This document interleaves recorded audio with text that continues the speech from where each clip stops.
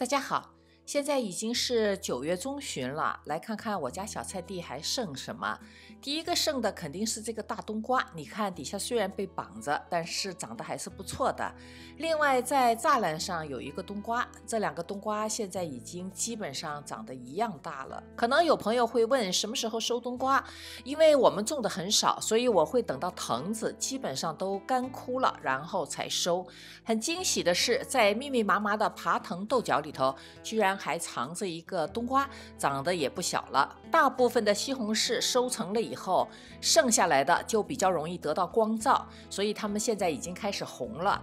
但是你看到这个叶子开始卷了，并且有一点褐斑，没关系，反正很快我们就要把它们所有都从地里拔出来的，就随它们长好了。那么剩下的这些青的西红柿会不会都红呢？这取决于天气。如果突然间很冷了，就很难说了。这个周末有点。时间本来想把爬藤豆角都拔掉，因为季节差不多了。结果仔细一看，它又长出来很多新豆角，所以我再继续留一会儿吧。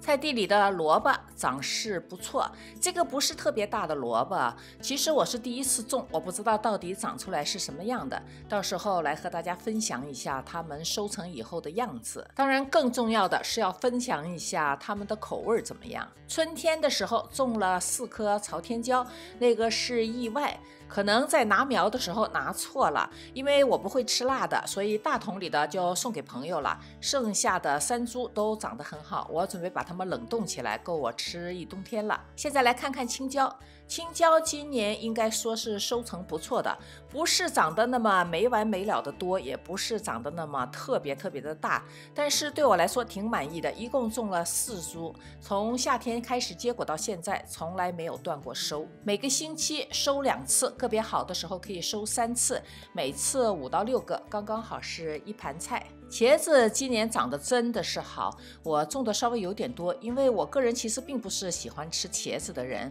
但是你看这个茄子长得非常大，我准备留一个留种。我从来没有用茄子留过种，这次试一下吧，因为这个茄子非常好。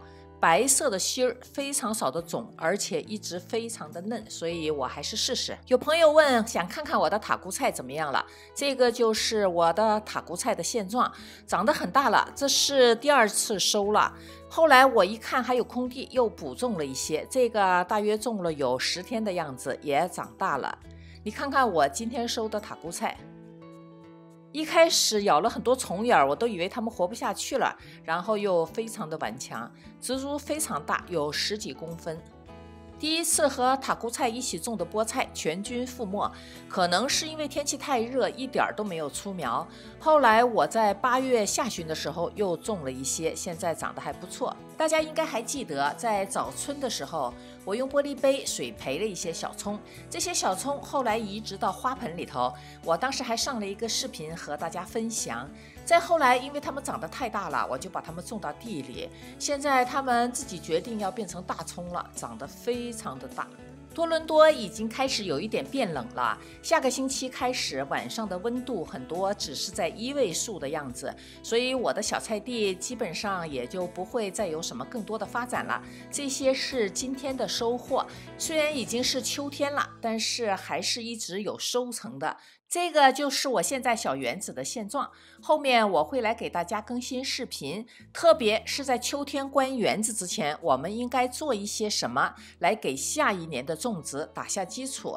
喜欢我视频的朋友，欢迎订阅我的频道。谢谢您的收看，我们下集再见。